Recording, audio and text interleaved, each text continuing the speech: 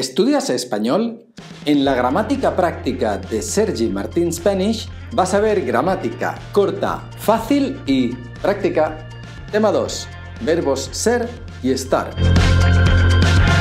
¿Ser o estar? ¡Qué dilema! Vamos paso a paso.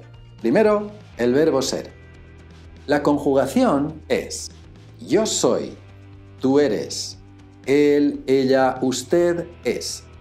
Nosotros, nosotras somos. Vosotros, vosotras sois. Ellos, ellas, ustedes son. El verbo ser se usa para identificar personas o cosas. Ella es María, la hermana de Marta. ¿Qué es eso? Es mi nuevo ordenador. También se usa para hablar de nacionalidad, profesión o ideología, por ejemplo, política, religiosa. Tú eres de Argentina. Mis padres son profesores de francés. Se usa para describir personas o cosas. Mi casa es de madera. Vosotros sois muy simpáticos. También para hablar de cantidad, precio y tiempo. Son las 2 de la tarde. ¿Cuánto cuesta el café? Son 2 euros.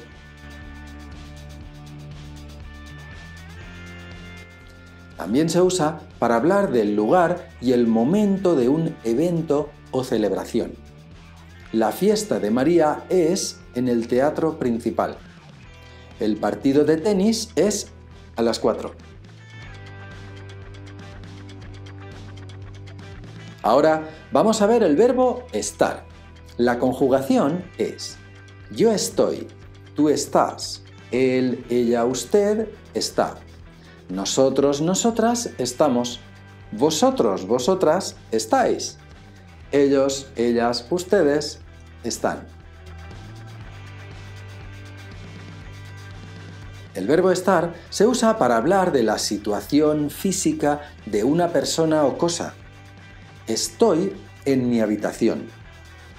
Las libretas están en la mesa de la cocina.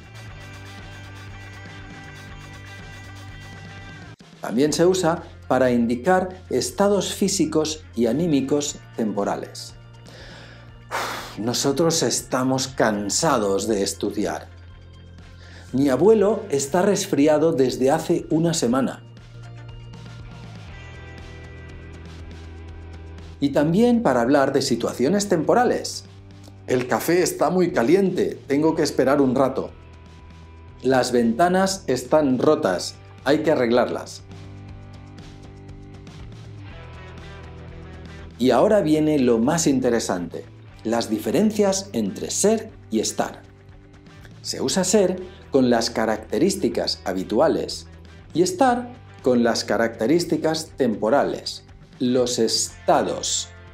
Estar, estado. Estar, estado. Estar, estado. María es muy simpática, siempre saluda.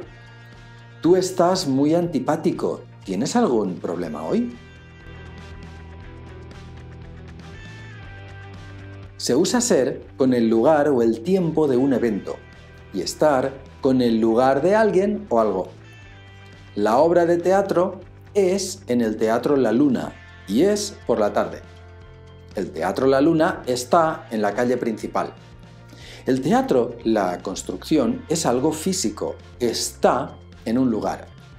Pero la obra de teatro no es algo físico, es un evento.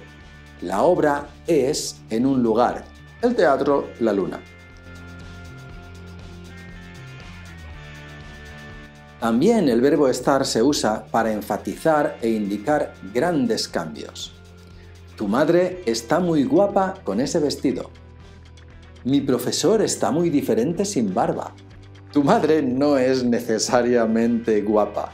Mi profesor no es diferente. El vestido y no tener barba cambian el estado de los dos. El estado, verbo estar. Algo curioso es que, dependiendo del verbo que usemos, algunos adjetivos cambian de significado. Ser malo significa que una persona tiene mal comportamiento o que una cosa es de mala calidad. Pero estar malo significa que una persona está enferma. Ser bueno es lo contrario, que una persona tiene buen comportamiento o que una cosa es de buena calidad. Pero estar bueno es estar recuperado de una enfermedad. O lo usamos con la comida, que tiene buen sabor. Por cierto, estar bueno o buena también se usa para decir que alguien es sexy. Pero esto es algo coloquial o incluso un poco vulgar. Ser listo es una persona inteligente, pero estar listo es una persona o una cosa que está preparada. Esto lo comprendes bien porque eres muy listo y estás listo para el siguiente ejemplo. Ser rico es una persona que tiene mucho dinero, pero estar rico es una comida que mmm, tiene buen sabor. Ser aburrido es una persona que no sabe divertirse o una cosa que te provoca aburrimiento. Pero estar aburrido es una persona que recibe la consecuencia de algo que le provoca el aburrimiento. Yo estoy ah, aburrido porque mi profesor es aburrido o la película es aburrida. Ellos provocan mi aburrimiento, por eso yo estoy aburrido. Ser moreno es una persona que tiene el pelo o la piel oscura. Y estar moreno es estar bronceado por el sol. El color de mi pelo no es un estado, es una cuestión genética. El color de mi piel cambia con el sol. El estado de mi piel cambia. Por eso usamos estar moreno. Estar, estado. Estar, estado. Estar, estado.